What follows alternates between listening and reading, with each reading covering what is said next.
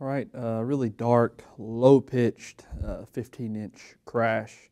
Really beautiful sound. Could be great for jazz or rock. Um, this is actually the lightest of three that I'm recording.